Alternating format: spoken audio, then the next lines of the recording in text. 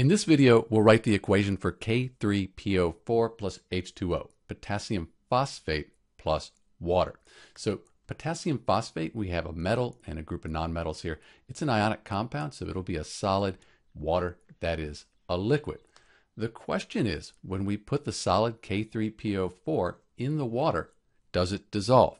So we can look at the solubility rules here to help us with that. And the first rule says group 1 elements. They are soluble. Potassium is in group 1. So we know it's going to dissolve when we put in water. It'll split apart into its ions. Let's look at the periodic table quickly here and see potassium, which is in group 1 right here. So it'll have a 1 plus ionic charge. We'll just write plus. So each one of these has a 1 plus ionic charge.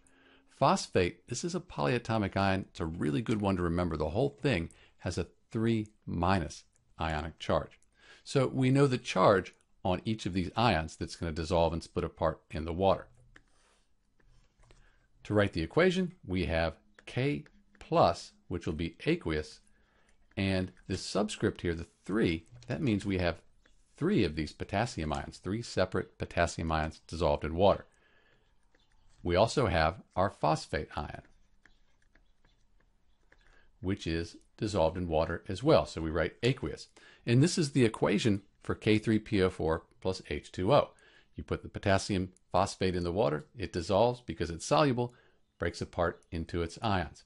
Some people put the H2O up here above the arrow. That's okay. I prefer it to be down here. And because we wrote AQ on this side of the equation, we're saying it's dissolved in water. So you really don't need to write water again on this side. This is Dr. B with the equation for potassium phosphate plus water. Thanks for watching.